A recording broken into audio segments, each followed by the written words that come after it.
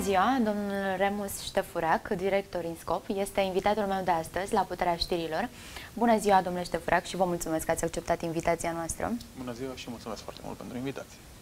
Românii au ieșit uh, ieri la vot uh, pentru a-și alege președintele, viitorul președinte, iar Claus a, Iohannis a fost departe câștigătorul, uh, atât în diaspora cât și în România. Cum a ajuns USR uh, Plus uh, pe locul 3 la, în clasamentul prezidențiabililor?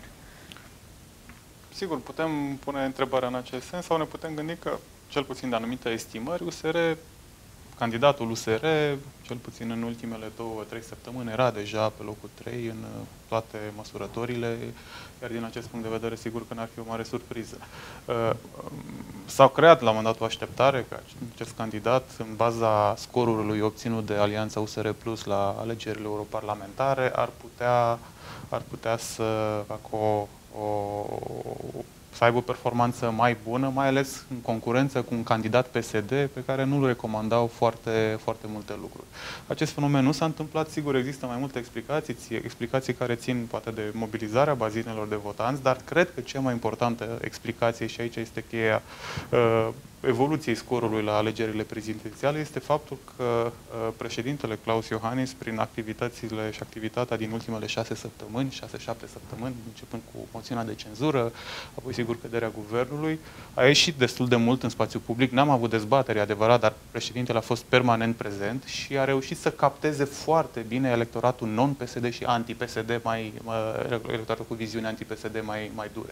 Practic, președintele a câștigat această bătălie. Noi, noi, România, în momentul de față, uh, avem, uh, e împărțită electoral în o pătrime din electori 20-25% uh, electori PSD, restul non-PSD și peste 50% anti-PSD, deci cu, cu, cu orientare clară, deci foarte, mai foarte dură, mai mult, mai mult de jumate. Și atunci președintele uh, a avut această strategie de a uh, impune pe agenda uh, ideea răsturnării guvernului și a livrat electoratului anti-PSD cele mai importante realizări. Până la urmă, răsturnarea guvernului PSD și înlocuirea acestui guvern cu un guvern de centru-dreapta reprezintă maximul pe care îl poate oferi un lider politic electoratului pe care îl reprezintă. Deci a cântărit foarte mult și enorm, schimbarea enorm, guvernului. Absolut, schimbarea guvernului, moțiunea de cenzură, președintele a fost permanent și și-a asumat acest...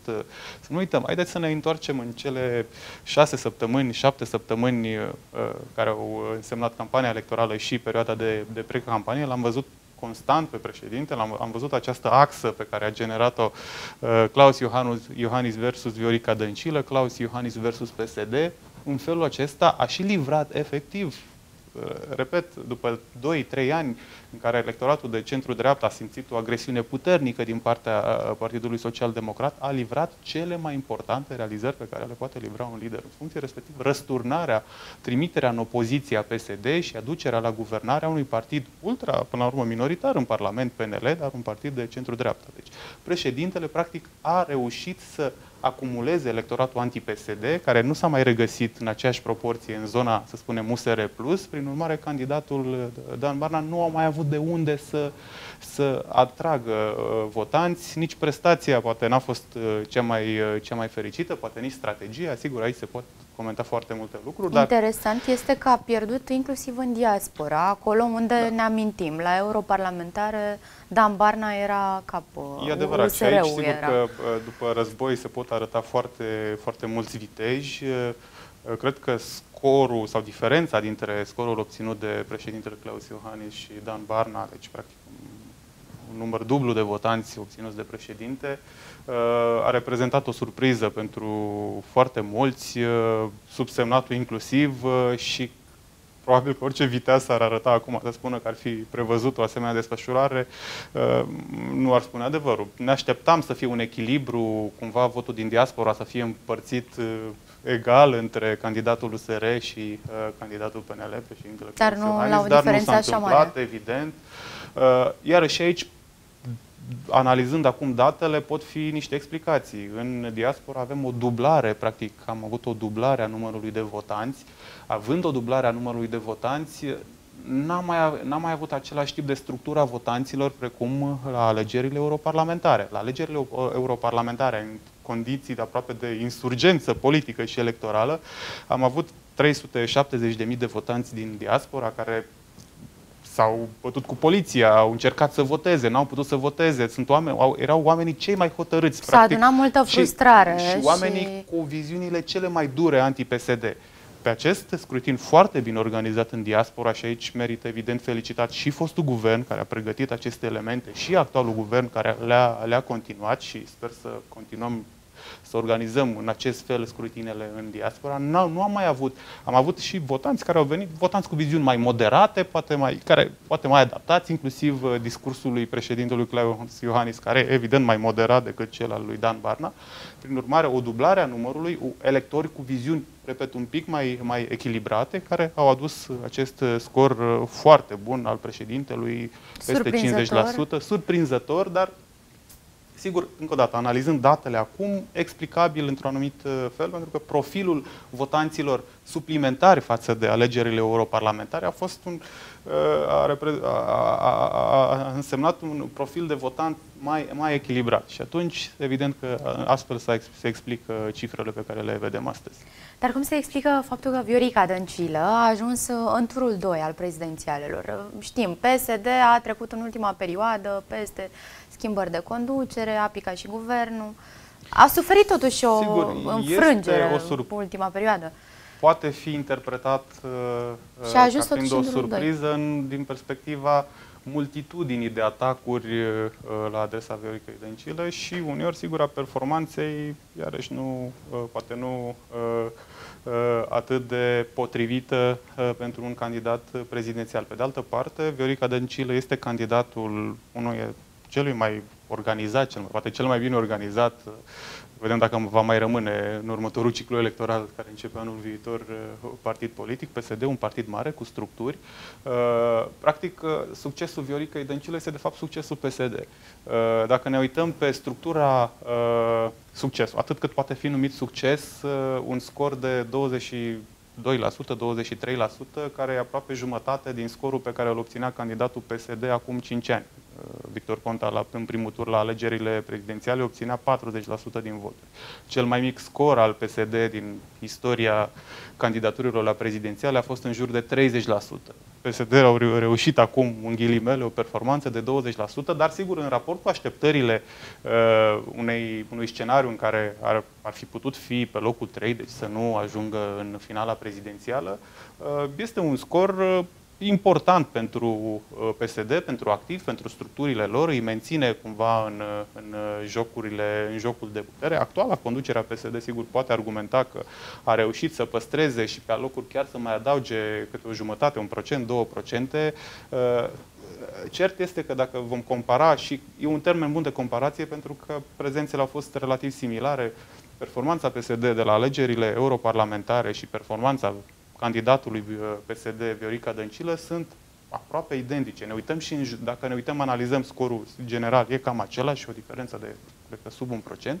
Dacă analizăm fiecare județ, vom vedea lucrurile sunt aproape în oglindă, mici abateri de 1, 2, 3 procente, uh, atât în fiefuri uh, tradiționale ale PSD, cât și în județe care nu sunt, să spunem, cunoscute ca având un profil pro-PSD foarte, foarte accentuat. Chiar m-am uitat pe analiza voturilor și excelent din nou, și ca, la fel ca și la alegerile europarlamentare, activitatea Biroului Electoral Central cu raportările și cu prezența și cu uh, uh, intenția de vot foarte detaliată pe secții, informație la dispoziția tuturor, transparent, uh, chiar un lucru extraordinar pentru cine sigur, e preocupat de analiza datelor, dar și pentru dem- democrație, pentru că e un exercițiu de transparență. Dumneavoastră, jurnaliștii, puteți să vedeți exact cum s-au distribuit voturile și, repet, dacă avem curiozitatea și ne uităm cum s-a votat în fiecare județ, probabil că și la nivel de secție aproape, vom vedea că, practic, PSD a reușit să aducă cam aceiași votanți pe care i-a adus la alegerile europarlamentare. Deși sunt județe care erau foste județe roșii, da, așa zisele județe roșii în Moldova, nu mai sunt, acum sunt albastre acum depinde cu ce comparăm. Dacă vom compara cu uh, alegerile europarlamentare, și la acele județe deveniseră albastre acum șase luni. Erau pe aproape, Dacă da. vom compara cu situația de acum 5 ani, să spunem, sau de la alegerile parlamentare, nu e o comparație tocmai potrivită, dar haideți să încercăm, evident că unele județe, cum am constatat în Moldova, de exemplu, cred că doar județul Botoșani a mai rămas uh, Roșu. uh, uh, să spunem, uh, să spunem uh, roșu. De asemenea și în partea de sud. Sigur, e un conglomerat de județe unde Viorica Dăncilă a câștigat în unele un pic la limită uh, uh, alegerile, dar cu diferențe semnificativ mai mici față de scorurile uriașe pe care le obținea, să spunem, candidatul, uh, uh, candidatul care e cum Victor Ponta, explicația? Mircea Joană, Adrian, uh, Adrian Năstas. Păi explicația, cred că uh, ați, uh, ați reflectat-o și dumneavoastră în trei ani și tre- aproape trei ani de, de guvernare. PSD, sigur, a livrat uh, o parte a programului de guvernare sub forma, uh, mai ales cele elementele legate de uh, uh, agenda socială, salarii, venituri, dar în același timp uh, alte elemente n-a reușit să le livreze. Infrastructură, spitale, plus uh, prestația uh, acestui partid într-o zonă cheie foarte importantă pentru societatea românească. Justiția a fost uh, evident uh, marcată de crize grave care aproape s-au internaționalizat și ne aducem aminte de proteste, de uh, lucruri, uh, acțiuni care pur și simplu au ieșit dintr-o logică de guvernare democratică firească, una care să respecte, să spunem, uh, principiile și valorile uh, alianțelor din care facem parte și până la urmă modelul de civilizație din care facem uh, parte, cel euroatlantic. Uh, În multe momente, uh, foarte mulți dintre noi și o parte evident importantă a societății, tocmai din acest motiv am avut primul moment al alegerilor eu- europarlamentare cu un ș- un scor șoc pentru PSD. Acum uh, se confirmă că PSD a ajuns în jurul la 20%. Ne aducem aminte de uh, momente în care uh, anumite decizii ale acestui partid pur și simplu uh, ne-au dus pe mulți dintre noi la exasperare și ne-au creat senzația că poate integrarea euroatlantică nu e chiar un proces uh, irreversibil, așa cum ne-am închipuit că la 30 de ani după căderea comunismului, după ce am reușit să rupem până la urmă lanțurile și să intrăm și noi ușor, ușor în lumea civilizată occidentală, în care libertățile, drepturile, controlul reciproc al puterilor este, este garantat, brusc ne-am trezit într-o situație în care într-un interval foarte scurt de timp, un an, doi, uh, instituțiile nu mai erau atât de solide, drepturile și libertățile parcă nu mai uh, erau cele care ar trebui să fie într-o societate democratică normală. Și atunci, evident că PSD-ul, pe fondul acestei terapii de șoc pe care a executat-o în anumite zone uh, de interes uh, și care presupun politici publice majore, a pierdut, a suferit la rândul său un șoc major plătit electoral nota. și a plătit nota, practic, no- e, no- e nota de plată a unei guvernări cu rezultate mixte, uh, dar evident cu unei guvernări cu rezultate catastrofale, cel puțin pe anumite zone și pe care le-am uh, a- amintit. Uh, Sănătate, uh, infrastructură, justiție, Educație. Că și educație, acolo. sigur că... Dar uh, Mircea Diaconu este un caz uh, surprinzător. La ultimul sondaj, uh, Diaconu era pe locul 2. Uh. Ne surprindea pe toți uh, cu un scor de 17, dacă mi amintesc bine, la sută. Da. Ieri uh, Mircea Diaconu pe locul 4 cu 9%. Ce s-a Din întâmplat? câte știu, uh, conduc un institut de sondare a opiniei publice. Am, uh, în această perioadă am realizat și noi foarte multe cercetări sociologice, mai, toate pe teren. Uh, uh, Nu au fost publicate pentru că, sigur, clientul pentru care am lucrat nu a dorit publicarea acestor uh, rezultate, însă n-am avut niciodată Mircea Diacon în sondajele efectuate de Inscope Research și în sondajele despre care am auzit, sigur, e o comunitate nu atât de mare încât să nu știm uh, re- rezultatele cercetărilor altor colegi, altor institute. Uh, Cred că uh, acest, uh, această distribuție cu Mircea Deaconu la 16-17% e- a fost Și chiar pe unică, locul doi. unică pe locul 2, n-a fost confirmată de niciun alt institut în datele noastre. m, În datele sub nicio dumneavoastră formă. depășea Mir- 10%? Uh, Mircea Deaconu a fluctuat în intervalul 8-10% permanent în ultimele două luni, uh, pe locul 4 permanent. Uh, Prin urmare, scorul pe care l-a obținut la alegeri nu reprezintă absolut deloc o surpriză. E un scor important, adică, uh, sigur că dacă avem acest reper, care, repet, e un reper ciudat, nu mi le explic și nu e rolul meu să explic uh, uh, acest, acest uh, procent într-un anumit sondaj de opinie, dar uh, uh dacă trecem peste acest element, 10%, 8%, 9% cât, uh, cât va avea Mircea Deaconu la, la final, e un scor, uh, un scor important pentru un candidat independent la alegerile prezidențiale. Sigur, sprijinit de două partide, dar sprijinit și nu prea sprijinit, uh, cu o perioadă de convulsii în ambele, ambele partide, e un scor important, chiar e un scor important, uh, care, într-un fel sau altul, ar putea să ajute cel puțin unul dintre partidele care l-au sprijinit uh, pe Mircea Deaconu să depășească poate o anumită perioadă de criză. Asta rămâne de văzut dacă se va întâmpla sau nu. Dar, repet, e un scor rezonabil. Mircea Deaconu a mai avut o performanță bunicică în urmă cu niște ani când a candidat independent pentru Parlamentul European, dacă mi-aduc bine aminte, da. a și câștigat un loc de europarlamentar. E un personaj cu notorietate, sigur cu un mesaj atipic pentru, și spun atipic pentru că și acesta cred că e un element foarte important de subliniat. Aceste alegeri prezidențiale, la fel ca și alegerile europarlamentare, arată o Românie pro-europeană. Practic, candidații care au avut o platformă, un discurs pro-european, uh, uh, ancorat în valorile, principiile civilizației euroatlantice despre care vorbeam, au obținut în total cam două treimi din voturi la aceste alegeri prezidențiale. Dacă vom analiza mai departe, vom, vom constata că aceste date se suprapun și cu rezultatele de la alegerile europarlamentare. Prin urmare, cel puțin în plan regional, european, internațional, România oferă un mesaj foarte, foarte important uh, al cetățenilor uh, țării noastre, care arată opțiunea pentru valori euroatlantice, pentru platforme euroatlantice, pentru programe, proiecte, discursuri euroatlantice și nu, uh, uh, să spunem, cele care aveau o tentă mai degrabă, sau au, chiar și în regiunea noastră, o tentă mai suveranistă, să o numim așa, uh, gen Ungaria, uh, poate uh, exemplu cel care ne vine cel mai mult la, la îndemână. Deci România, din nou, și cred că e un lucru foarte bun pentru România, în primul rând, pentru regiune, în al doilea rând, și pentru Uniunea Europeană, în al treilea rând, faptul că la aceste alegeri prezidențiale, candidații pro-europeni, pro-integrare, pro-cooperare, candidații euroatlantici, să-i numim așa, au obținut mai mult, cam două treimi din, din deci voturi. au avut un cuvânt greu de spus. Au avut un cuvânt greu de spus și un semnal foarte important pe care România îl dă, repet, mai ales în acest context destul de complicat în, în regiunea noastră. La ce să ne așteptăm în turul 2 al prezidențialelor? Îl avem pe de o parte pe Claus Iohannis cu un scor uh, destul de mare, da, 30 și confortabil. Și Viorica și Dăncilă, aici fac o mică paranteză, poate că e importantă și îmi cer scuze. Uh, poate că, probabil că scorul real al președintelui Iohannis ar fi putut fi în jurul uh, cifrei de 40%, dar uh, o parte, e posibil ca o parte, cel puțin asta au măsurat cam toate, uh, toate sondajele de opinie, e posibil, inclusiv exit polurile, dacă ne aducem aminte de aseară, Mm, evaluările erau la cam în jurul la 39%.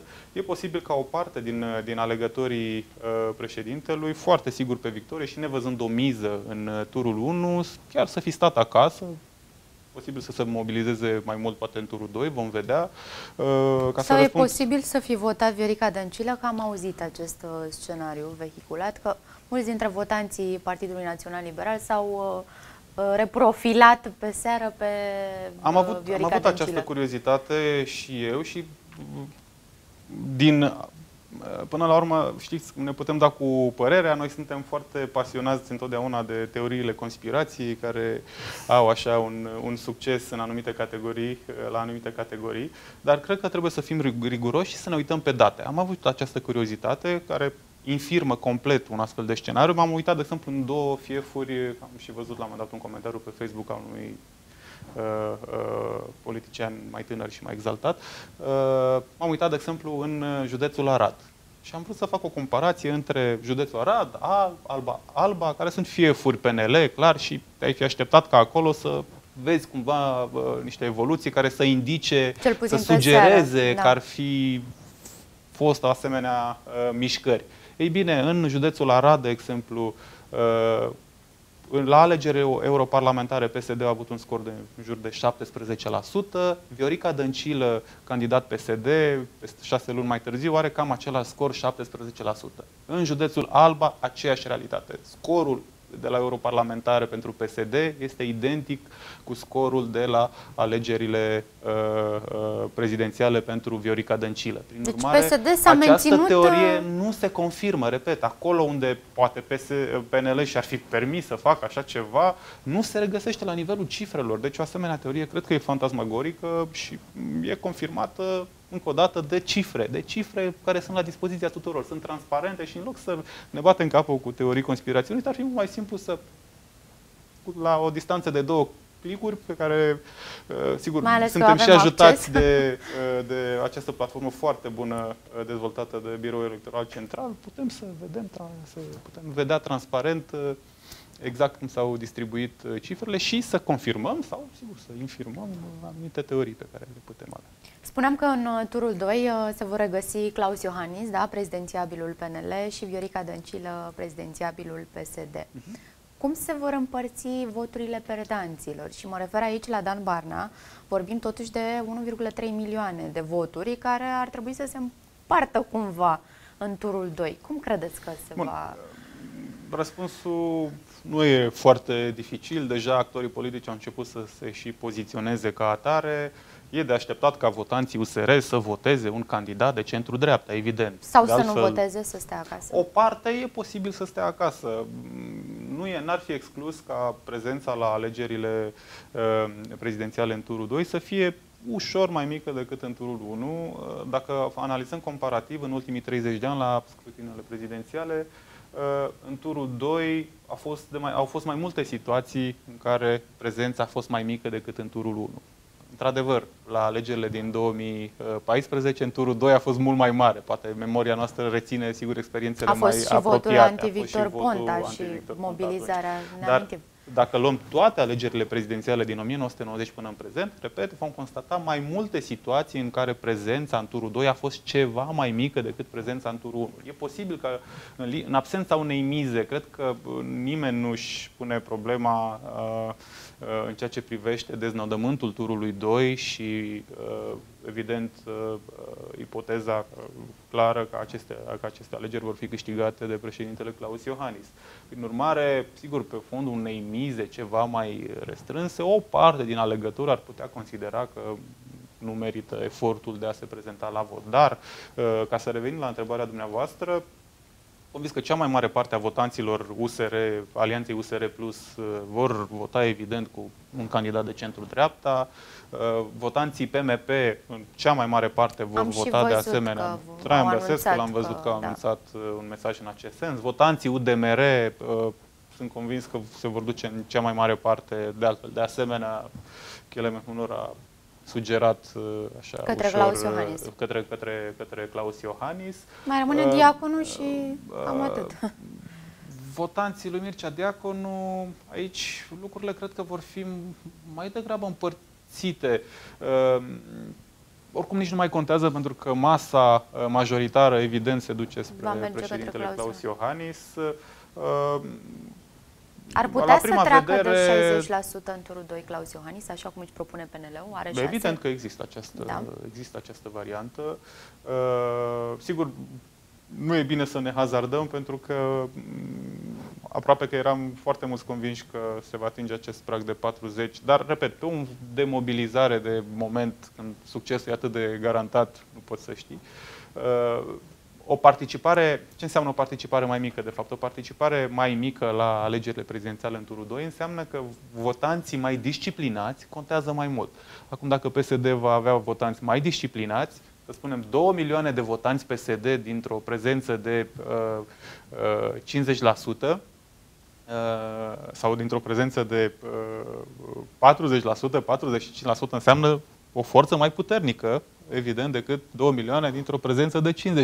Deci raportarea la masa totală... Și oricum votanții PSD-ului de regulă sunt foarte de disciplinați. Regulă sunt disciplinați. vorbeam uh, adineauri despre scorul obținut de Viorica Dăncilă. Acest scor a fost obținut pe baza unei uh, discipline la vot, uh, disciplină, sigur, asigurată de structurile destul de complexe ale acestui partid, care a reușit să aducă, să-și aducă proprii votanți, atât cât uh, permite acest moment politic. Pentru că în acest moment politic PSD trece cu greu granița celor 20, 22, 23 de procente. Dar Diaconul a, uh, a ajuns pe locul 4 și uh, din cauza faptului că nu au structuri. Cele două partide, ALDE și Pro-România, Pro-România este la început, ALDE este în practic în disoluție. Bun. Este și acesta o cauză, faptul că nu au structuri bine organizate în teritoriu și nu au avut... Poate fi o cauză, cauză dar e o cauză secundară. Uh, Mircea Deaconu a existat destul de puțin în această campanie, mesajul său nu a fost totuși atât de vizibil. Sigur că structurile contează, structurile partidelor contează, dar nu cred că aceasta a fost principala cauză. Mircea Deaconu nu a fost niciodată, uh, repet, din analizele și măsurătorile mari majorități uh, a celor care s-au ocupat de aceste lucruri în ultimele două luni. Mircea Deaconu nu a fost niciodată mai sus de locul 4. În urmare, atât acesta era pragul la care putea să ajungă. Până la urmă, dacă e să facem o, o comparație, eh, într-un fel sau altul, Mircea Deaconu reflectă cumva și scorurile obținute, adunate, suma scorurilor ALDE și Pro-România de la europarlamentare. ALDE a obținut cam 6, la, eh, Pro-România a obținut cam 6%, ALDE în jur de 4%, deci 10%, Mircea Deaconu are cam 9%, suntem cam în marja voturilor. Eh, deci s-a menținut. S-a menținut și în acest caz. Absolut, absolut. Domnule Ștefureacă, eu vă mulțumesc pentru prezența dumneavoastră alături de noi și vă mai așteptăm cu mare dragă pe la noi. Mulțumesc foarte mult vă pentru invitație.